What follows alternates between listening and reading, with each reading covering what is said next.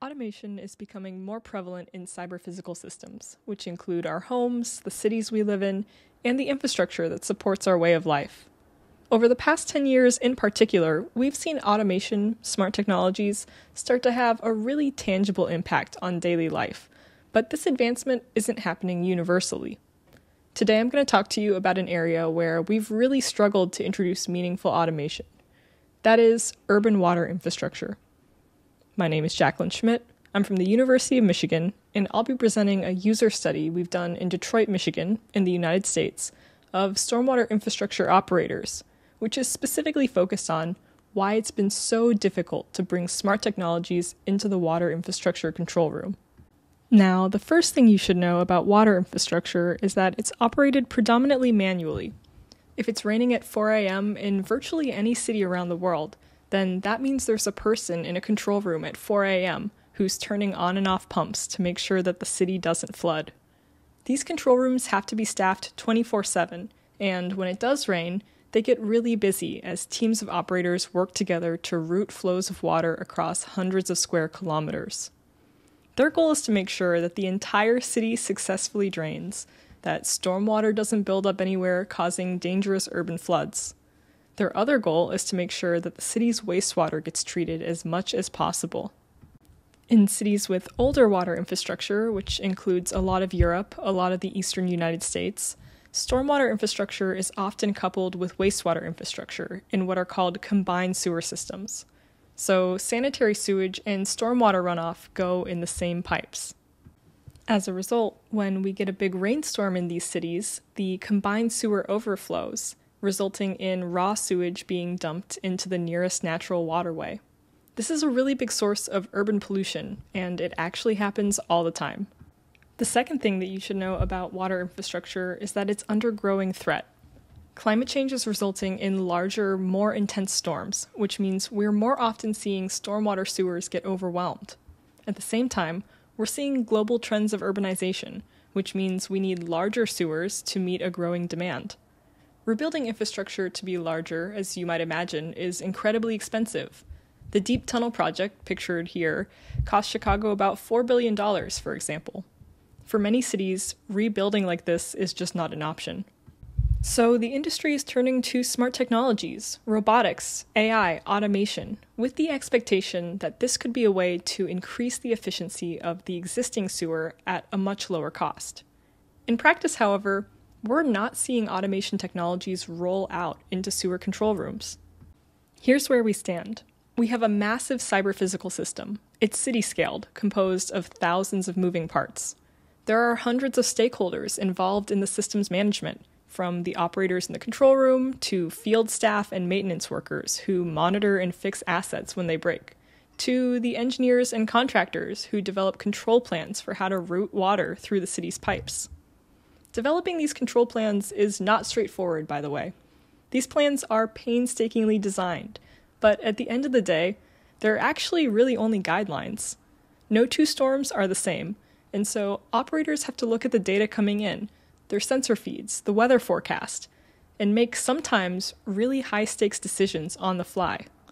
They told us it usually takes about three years for a new operator to become confident and independent in the control room. Now, who's affected by these control decisions? Well, in the case of Detroit, about 4 million residents are served by the wastewater treatment plant. It's actually one of the largest wastewater resource recovery facilities in the world. At this scale, one control room is not enough. In fact, there are more than a dozen control rooms spread across three counties. All of these different control rooms control different parts of the sewer, passing water between each other from upstream communities to downstream communities, all the way down to the treatment plant, where water is eventually cleaned to the point that it's safe to return to the Detroit River. This is the system we want to automate, and as you can imagine, it's not a technologically simple system and it's not a socially simple system. The idea of automated water infrastructure has been bouncing around for over two decades now. It's not a new thing, and certain components of the sewer have been more readily automated than others. There are already quite a few automated pumps in the Detroit sewer, for example, along with these automated inflatable dams, which have been in place since 2005. These sorts of assets are usually connected to a couple of sensors, they're operated on a level set point basis, It's not a particularly sophisticated system, and as a note of foreshadowing, the operators have mixed feelings about them. The holy grail of automated stormwater control is large scale regional control. This would involve creating a cohesive real time control system that could optimize water flows across the entire network, so across three counties in Detroit's case. This is where we think that we could see the largest improvement from automation, what we really need to tackle urban flooding and the pollution problems that we have. But it's something that nobody in the world, not even the most advanced sewer systems, has permanently implemented in practice. Since we're looking at such a manual system today, our research question was why is this happening? Automation strategies that have worked out in other control rooms, such as air traffic control, rapid transit systems, and power plants, are clearly not working out in the water infrastructure space. So we asked two research questions. One, what do control room operators perceive as the major barriers to adoption of smart technologies in the sewer system? And two, what changes to the design or implementation of smart technologies could improve their acceptability to operators? There are a number of fundamental differences in working conditions that you see in the water infrastructure control room as opposed to other kinds of process control rooms. For example, the scale of the system is so much larger, an entire city's worth of drainage pipes compared to a single power plant. By talking to the operators, our goal was to understand what is it about these working conditions that is making it more difficult to introduce new technologies. So, we conducted 16 interviews with 19 operators spread across 10 control rooms in the Detroit Combined Sewer System. We asked questions covering a range of topics, including existing operational procedures and constraints, attitudes towards automation, and perceived barriers to regional cooperation between the different control rooms. We conducted three rounds of interviews. The first was focused on how operators use data, how they interpret information from sources like real time sensors and the weather forecast. We asked how they use that information to make decisions. Then, in the second round, we expanded the conversation and prompted operators to talk in more detail about their work routines, how their operational procedures are created, how they're starting to incorporate automated systems in their workflows, and what their experience with these early stage automations has been. In the final stage of interviews, we introduced a scenario based prototype, a fully functional modeling tool that we developed which is designed to aid operators in making regionally minded, data driven decisions. We used this prototype as a conversation starter, probing at whether there are maybe some intermediate technologies that could help us walk along the path from the very manual system that we currently have to the ultimate dream of system wide optimized control.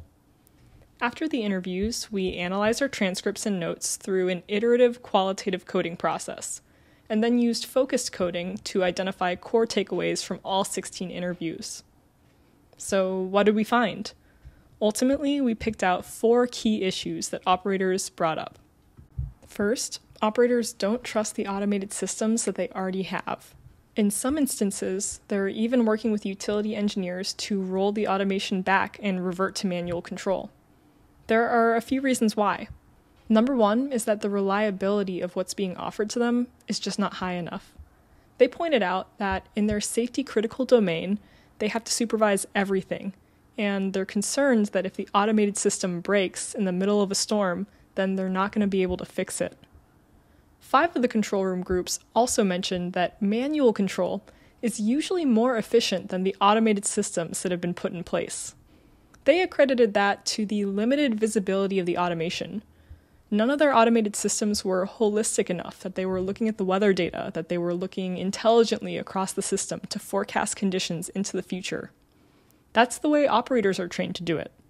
So you get a sense that technologically, the current offerings are not advanced enough. Second, uncertainty in critical data sources limits reliability.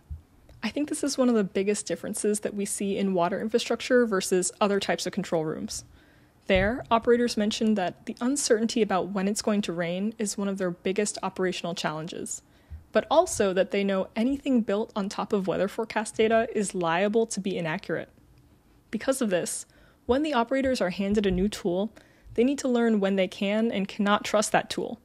And building these mental models is forming a pretty strong barrier to adoption.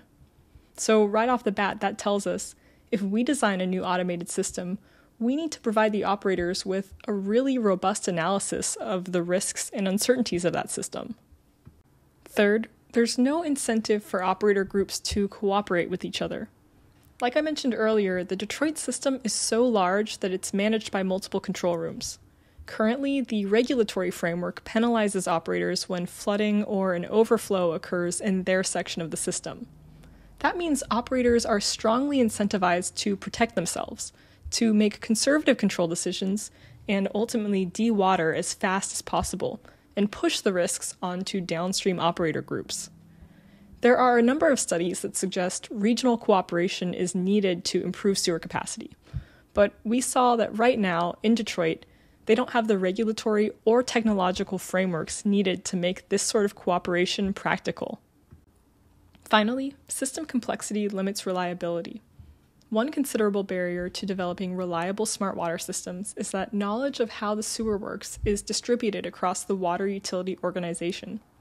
As one operator explained, in order to make effective control strategies, operator groups need to be deeply familiar with the idiosyncrasies and recent history of their control assets. Encoding this information into an algorithm is difficult, one operator group described how they've tried several times to develop a comprehensive and specific standard operating procedure for their facility, but nobody's been able to do it. Literally, they can't write down the logic. So, with all of this in mind, how do we move forward?